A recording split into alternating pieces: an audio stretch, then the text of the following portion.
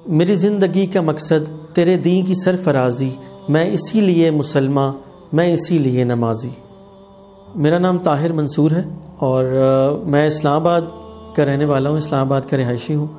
और मेरी तालीम शोबे के लिहाज से मैं आईटी और सेल्स मार्केटिंग में रहा हूँ। मेरी तालीम है, मैंने एमबीए मार्केटिंग में किया है और उसके साथ एमएस टेलीकॉम उसके इसके अलावा मैंने बहुत से आईटी और सॉफ्ट स्किल्स में सर्टिफिकेशंस की हैं। और आजकल मैं जो हूँ, वो एज ए बिज़नेस ट्रेनर और सॉफ्ट स्किल्स कोच की हैसियत से कॉरपोरेट ऑर्गेनाइजेशंस को ट्रेनिंग्स दे रहा हूँ। मैं पैदाइशी कादियानी था। कादियानी जो अपने आप को अहमदी भी कहते हैं। मेरे परदादा अंग्रेज़ की अंग्रेज़ सरकार की फ़ौज में मुलाजमत करते थे और वहाँ से उन्होंने मिर्ज़ा कादियानी के मज़हब में शमूलियत इख्तियार की। इसी तरह मेरे परनाना भी पुलिस के महकमे में थे और उन्होंने भी मिर्ज़ा कादियानी की मज़हब में शमूलियत इख्तियार की। और मेरा ख़ानदान एक कट्टर कादियानी घराना था और जिसमें, जिसका ताल्लुक़ मिर्ज़ा कादियानी के जो उनका रॉयल ख़ानदान है, उस फैमिली से था। और मैं कादियानियत के अहम तरीन शोबों और अहदों पर भी रहा हूँ और इस लिहाज से हमारा ख़ानदान बहुत प्रोमिनेंट था और मैं कादियानियों की तबलीग और तमाम सरगर्मियों में बहुत बढ़ चढ़ कर हिस्सा लेता था। कादियानियत मज़हब जो है, उसमें बचपन से ही इस्लाम और मुसलमानों के ख़िलाफ़ और ख़ास तौर पर मुसलमानों के मजहबी तबके के ख़िलाफ़ बचपन से ही कादियानियों में बहुत ज़्यादा नफ़रत दिलों में डाली जाती है। और उन्हें ये हमें ये बताया जाता था कि हम ही वाहिद वो जमात हैं। कि जो कि नवजुबिल्ला हक पे हैं और जिन्होंने जन्नत में जाना है। और कादियानियों ने अपनी एक जन्नत भी बनाई हुई है जिसको वो बश्ती मकबरा कहते हैं कि दस फ़ीसद चंदा दोगे तो वहाँ चले जाओगे। तो हमारे चूँकि बाप दादा भी ऐसे ही करते आए थे तो हमारा हम भी हमारा भी यही यकीन था हम यही समझते थे कि हम ही जन्नती हैं हम ही जन्नत में जाएँगे और बाकी तमाम लोग जो हैं वो जहन्नम में जाएँगे। तो हम एक अपने एक, एक, एक खौल में बंद थे। और ज़िंदगी गुजार रहे थे। कादियानियत के अंदर क्योंकि कादियानियत जो है वो एक वो अपने लोगों को जकड़ के रखती है। जैसे वो पुतली की तरह अपने लोगों को इस्तेमाल करते हैं। यहाँ तक यहाँ तक भी इजाज़त नहीं होती कि वो किसी दूसरे की इस्लाम की या कुरान की कोई और तफसीर भी अपने घर में रखें। मुझे आ, मौका मिला आ, एक मुलाजमत पे सऊदी अरब जाने का। अब सऊदी अरब तो कादियानी नहीं जा सकते लेकिन कादियानियत के मज़हब में ये है कि अगर अपना मौका कोई फ़ायदे की बात हो तो उसको इख्तियार कर लो। तो इसीलिए हमने शनाख्ती कार्ड भी और पासपोर्ट भी, के ऊपर भी साइन भी कर दिया कि जी कादियानी नहीं, मिर्ज़ा कादियानी पे लानत भी भेजी और वहाँ पे चले गए। तो वहाँ पे सऊदी अरब में चूँकि जो मुलाजमत थी, वहाँ पर भी एक कादियानी ही था, जो कि एक अरबी कंपनी के अंडर जो है, बहुत बड़ी पोजीशन पे था। तो असल में मुझे सेलेक्ट किया गया था वहाँ ले जाने के लिए, क्योंकि मैं इनकी तबलीग में भी बहुत एक्टिव था। तो वहाँ पर फिर मैंने इनका अंडरग्राउंड नेटवर्क भी देखा कि जहाँ पे किस तरह खसारा कादियानी है, उन्होंने मराकज़ बनाए हुए हैं, सारी दुनिया से लोग आते हैं। फिर उसमें मुझे जो है वो वहाँ पर जो कादियानी जमा हो के अपने तौर पे छुप के जाके जाते हैं उम्र पे या हज के मौके पे सारी दुनिया से आते हैं। तो मुझे वहाँ पे उन्होंने उनका अमीर मुकर किया और मैं उनका अमीर था।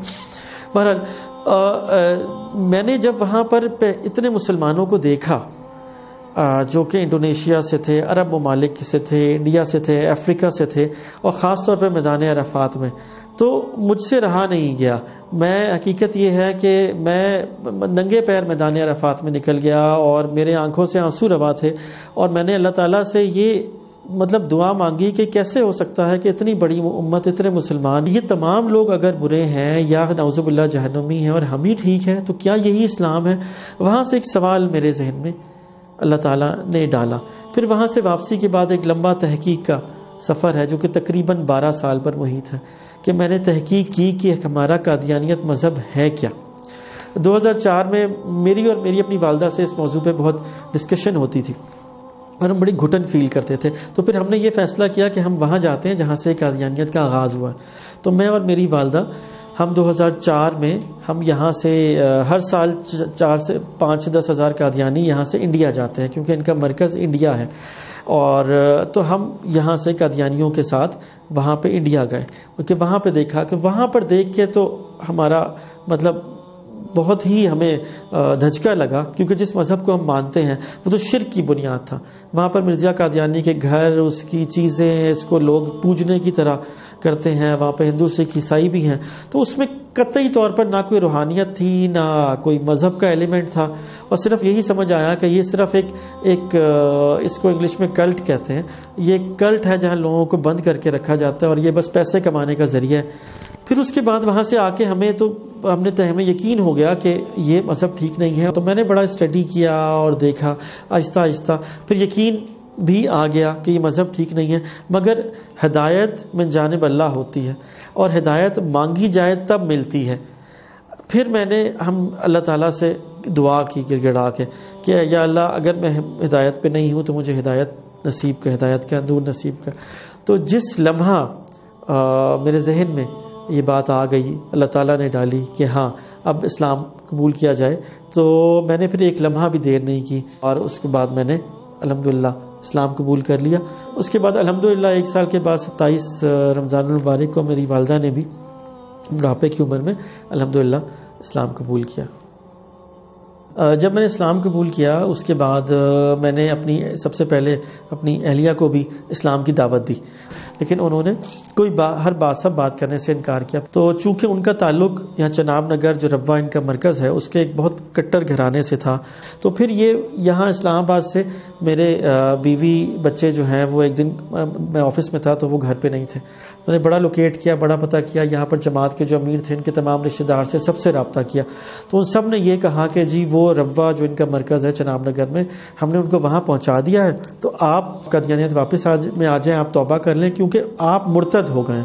तो उनके बकौल जो कादियानियत छोड़ता है और इस्लाम कबूल करता है, वो मुर्तद होता है। और उसकी उसकी मुखालफत करना, उसका बायकआउट करना और उसके साथ हर किस्म का जुल्म रवा रखना भी उनके यहाँ जायज़ है। तो मैं, मेरे बच्चों को वहाँ चनाब नगर ले जाया गया। तो मैं अपनी बूढ़ी वालदा के साथ वहाँ पर गया। जब मैं वहाँ पर गया तो वहाँ पर इन्होंने मुझे कई घंटे वहाँ पर मुझे इन्होंने बंद रखा। तो वहाँ पर मजबूरन मुझे पुलिस को कॉल करना पड़ा। पुलिस आई और रैपिड फोर्स आई। उन्होंने भी कहा कि आप इनके साथ ही बात करें। तो मुझे अपने बच्चों से भी नहीं मिलाया गया और वहाँ पर मुझे भी इन्होंने कई घंटे मुझे और मेरी वालदा को बंद रखा और ये कहा कि आप जो है यहाँ से ज़िंदा नहीं जा सकते। आप इस्लाम छोड़ दें और बच्चों को भूल जाएँ। हमने के, केस भी किया और फिर केस में कस्टडी का ऑर्डर भी हो गया। लेकिन उसी दौरान ये आ, केस के कोर्ट के ऑर्डर के अगेंस्ट बच्चों को और मेरी अहलिया बच्चों को लेके कदियानी जमात उनको इंग्लैंड ले गए। इस्लाम लाने के बाद अब मेरा मकसद मकसद हयात के ज़िंदगी का मकसद ये है कि मैं आ, मेरी पूरी कोशिश है कि उन लोगों को जो अंधेरों में भटक रहे हैं कुफर के अंधेरों में भटक रहे हैं ख़ास तौर पे कदयानी मज़हब के लोग कि उनको मैं अंधेरों से निकाल के इस्लाम के नूर की तरफ़ लेके आऊँ। ये मेरी कोशिश है और इन यही मेरा मिशन है।